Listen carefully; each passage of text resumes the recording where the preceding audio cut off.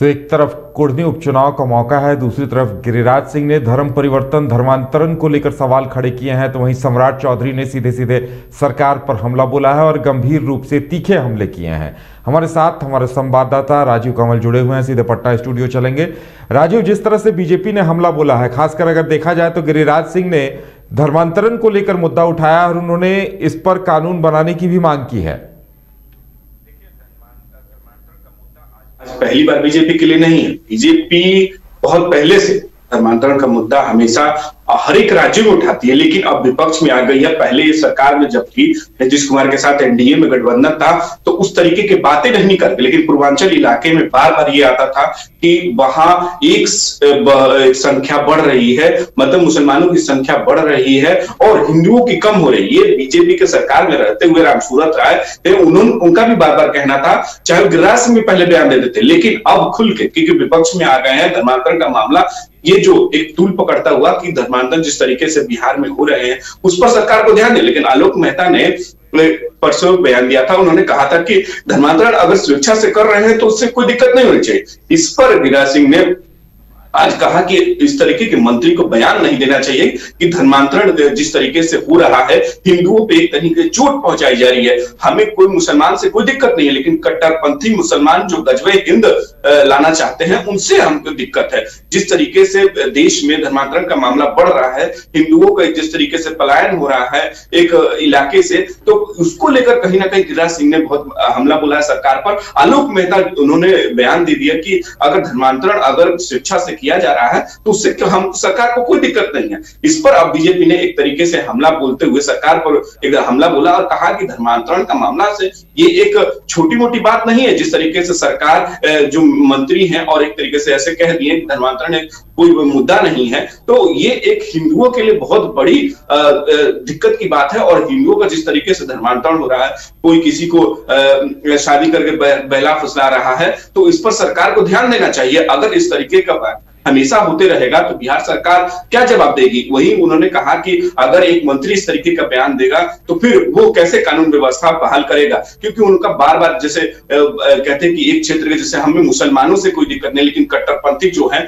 जो चाहते हैं कि इस तरीके का धर्मांतरण हो और ऐसे बदलाव किए जाए, ईसाई धर्म के बारे में उन्होंने कहा कि अगर ईसाई धर्म इस तरीके से कर रहे हैं तो कोई बोलने को तैयार नहीं है इस पर। लेकिन उन्होंने कहा कि अगर हिंदुओं के साथ ऐसा हो रहा है तो कहीं ना कहीं बहुत दुर्भाग्यपूर्ण है और एक मंत्री को इस तरीके तरीके का बयान नहीं देना चाहिए।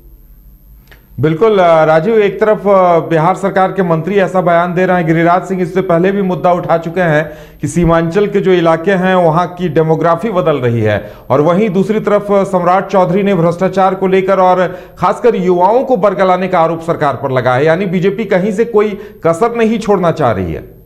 देखिए, बीजेपी अब विपक्ष में एक तरीके से उनको बैठा बैठा मुद्दा है और जिस तरीके से जैसे बीपीएससी में आपने, हमने एक तरीके से पूरी खबर चलाई थी जिस बीपीएससी में छात्रों के साथ जो हुआ बीपीएससी धरना प्रदर्शन किए, उन पर एक तरीके से, फिर वहाँ मुख्यमंत्री की आवाज़ उनका बार बार आरोप लग रहा है कि सरकार ध्यान नहीं दे रही है। सरकार जो हम जाँच आयोग की कमेटी गठित करने की उस पर नहीं है। दस लाख नौकरियों का वादा कर दिया है, लेकिन नौकरी देने का कहा हो रहा है? यही आज सीटेट की जिस तरीके से मुख्यमंत्री के कुंडली प्रचार में जहाँ उनके साथ मारपीट हुई तो कहीं ना कहीं जो छात्रों का मुद्दा हो चाहे युवाओं का मुद्दा हो, उस पर बीजेपी हमलावर है सरकार पर, और सरकार को एक तरीके से बैठे बैठे मुद्दा दे दे सरकार दे रही है। तो विपक्ष की तरफ़ से सम्राट चौधरी भी आज एक तरीके से उन्होंने कहा कि सरकार केवल अपने लोगों पर ध्यान दे रही है। उन्होंने कहा कि जो अध्यक्ष तो बदल जाते हैं, लेकिन रजिस्ट्रार नालंदा से है, वो नहीं बदलते हैं। मतलब की है कि ये भ्रष्टाचारी सरकार है और भ्रष्ट काम कर रही है और केवल युवाओं को बरगलाया जा रहा है कि नौकरी मिल रही है,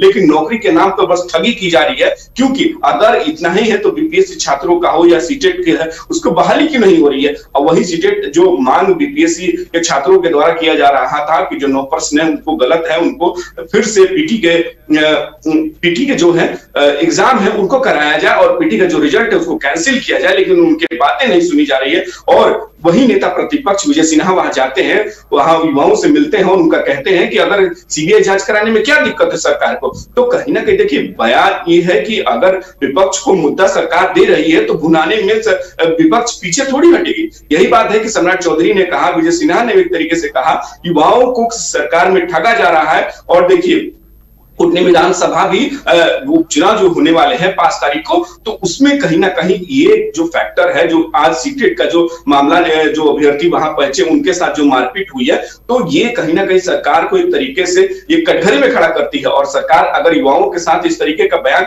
अगर होता है तो कहीं ना कहीं सरकार को इस पर घाटा होगा। जीवेश मिश्रा है, तुरंत उन्होंने कहा कि बताइए, गए तो वहाँ लोग मांगने के लिए नौकरी उनको मिला उनको मिला डंडा। तो कहीं ना कहीं वही विजय सिन्हा ट्वीट करके तुरंत अभी कहते हैं कि बताइए बबूल का पेड़ रोपेंगे तो कहाँ से आम खाएँगे? मतलब कि वही कहावत है कि अगर आपने जैसा कोई वैसा पाया वाला कहानी है कि अब सरकार मतलब विपक्ष है, सरकार पर हमलावर है और जो भी, कोई भी मुद्दा नहीं छोड़ना चाहती, वही युवाओं का मुद्दा तो ऐसे नहीं, क्योंकि 2020 में तेजस्वी यादव ने ये कहकर किया था ये चुनाव प्रचार किया था कि युवाओं को आते आते हम नौकरी देंगे, दस लाख नौकरियाँ देंगे। अब सरकार बन गई है, दस लाख नौकरी कहाँ है? इसको लेकर विपक्ष हमेशा वो विजय सिन्हा हो या तमाम हो, विधानसभा में इस पर इस लेके कि हम आवाज़ उठाएँगे। बीजेपी का कहना है कि अगर विधानसभा में दस लाख नौकरी हो, शिक्षक बहाली हो या बीपीएससी का मुद्दा हो, इसको लेकर हम विवेक में तेरह तारीख के बाद हम, उस पर हम आवाज़ उठाएँगे और चलने नहीं देंगे। उन्होंने साफ़ कहा जैसे ना कि बीजेपी की तरफ़ से यही है